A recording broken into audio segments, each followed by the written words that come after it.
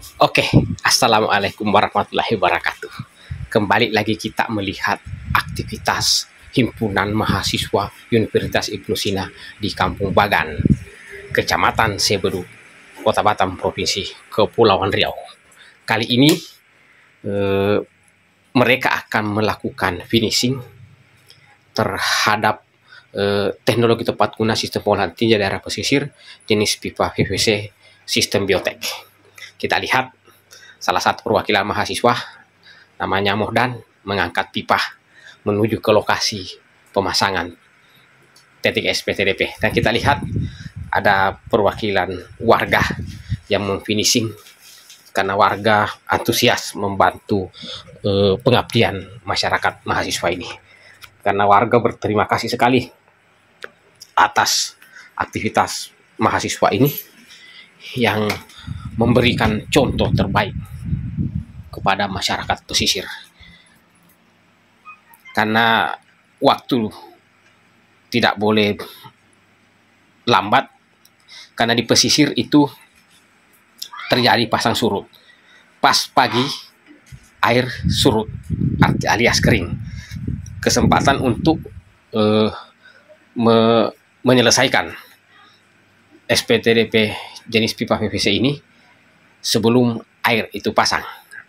Nah kita lihat bergegas eh, warga me merapikan semua connecting-connecting pipa ini, sedangkan mahasiswa yang lain eh, bergegas menyiapkan materialnya sebelum juga turun ke lokasi untuk menyelesaikan satu persatu daripada SPTDP jenis pipa PVC ini karena eh, setelah dipasang beberapa hari sebelumnya, sekarang tiba saatnya untuk melakukan finishing. Dan itu eh, harus menyesuaikan dengan kondisi lingkungan karena di saat air pasang SPTDP jenis pipa PVC ini tidak bisa beraktivitas. Dan kita lihat sudah pelan-pelan satu persatu selesai dan sudah bisa digunakan. Inilah betul-betul e, bukti nyata himpunan mahasiswa Universitas Ibnu Sina menyelesaikan permasalahan sanitasi di pesisir, terutama dari segi septic tank. Septic tank ini, jenis pipa PVC biotek ini, pemegang ciptanya adalah pemegang hak ciptanya adalah Sofian Dengkelana yang notabene salah satu juga dosen pengajar di Universitas Ibnu Sina. Dan sistem biotek ini diperkirakan tidak akan penuh selama 10 tahun ke depan. Nah, kita lihat ini yang salah satu perwakilan mahasiswa ber, dan berbincang-bincang dengan warga setempat sambil me, memegang pipa inletnya dan bertanya-tanya karena mereka ingin tahu dan mereka ingin menguasai sistem ini.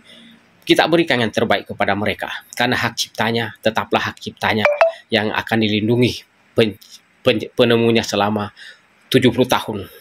Jadi kita membuka sistem ini kepada generasi muda, terutama kepada seluruh mahasiswa Ibnu Sina.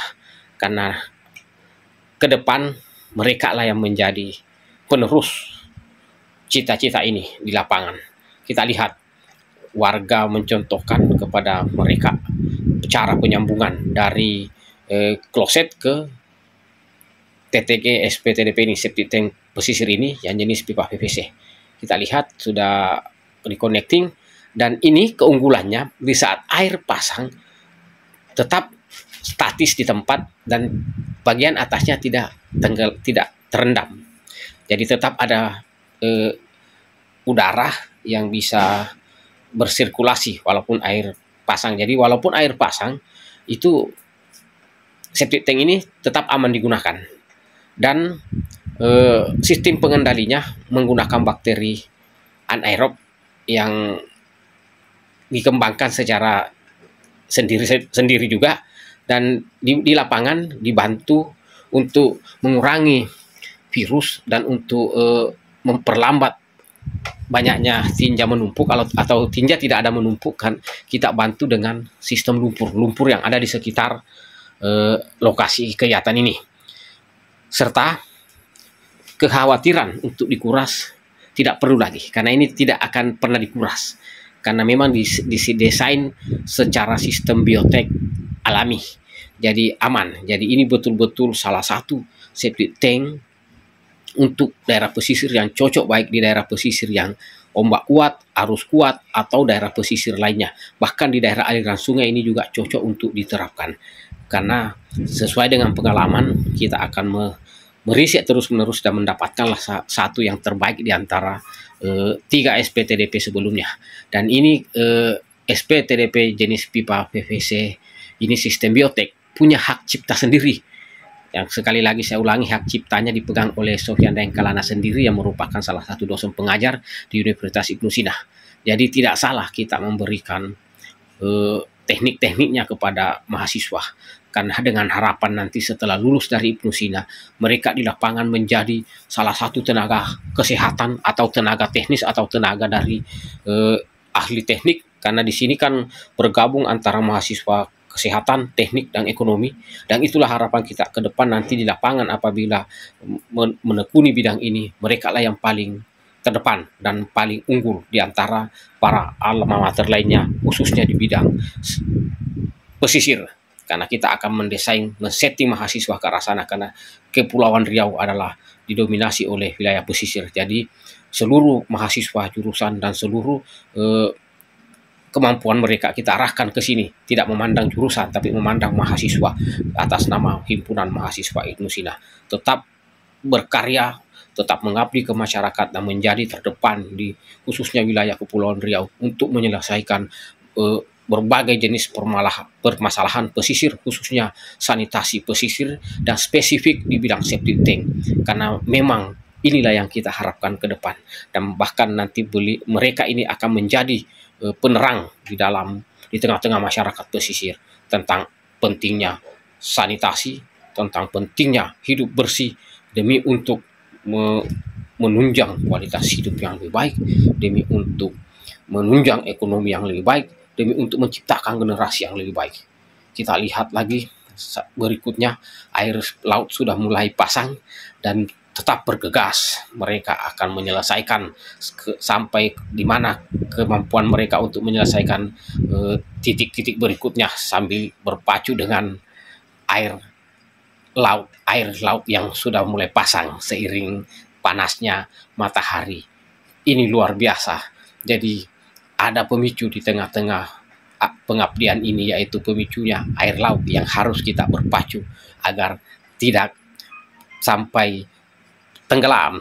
Artinya tidak sampai terlalu tinggi. Kalau sudah terlalu tinggi me menenggelamkan lebih dari separuh eh, pipa ini berarti otomatis pekerjaan ditunda dan mereka akan beralih ke darat. Karena juga akan membuat sudah membuat eh, septic tank darat yang terbuat dari eh, drum. Nah ini kita lihat pelan-pelan ke sepatu safety mereka sudah mulai terendam oleh air laut. Ini kita lihat sungguh luar biasa pemandang memberikan pemandangan yang bagus. Dan setelah terpasang SPTDP pesisir ini kotoran atau tinja tidak lagi berserakan. Jadi anak-anak bisa lebih leluasa mandi. Yang sebelumnya miris kita lihat kotoran berserakan dan anak-anak juga mandi. Sekarang anak-anak sudah mandi dengan senang karena sudah tidak ada lagi kotoran berserakan inilah bukti nyata. Inilah pengabdian yang sesungguhnya yang tidak perlu dengan berbagai kriteria tapi langsung menyentuh masyarakat dan masyarakat sangat merasakan manfaatnya. Bahkan anak-anak juga merasakan manfaatnya karena sekali lagi tidak ada lagi e, tinja berserakan di air dan anak-anak senang dengan air laut yang pasang mereka mandi bersukaria di, di tengah tengah air laut yang prosesnya mulai pasang semakin tinggi dan semakin bagus terima kasih. Semoga kegiatan mahasiswa himpunan mahasiswa Indonesia ini bisa menjadi contoh yang terbaik di Kepri dan bisa menjadi uh, berkelanjutan terus-menerus agar pesisir Kepri sanitasinya menjadi lebih baik dibandingkan dengan daerah-daerah lainnya. Terima kasih. Subsipengnya. Ya, terima kasih banyak-banyak. Ya. Ya, Pak. Oke. Oke. Oke, uh, ini kami serah terima untuk uh, jamban itu, Bu ya. Iya. Terima kasih. Iya, Pak.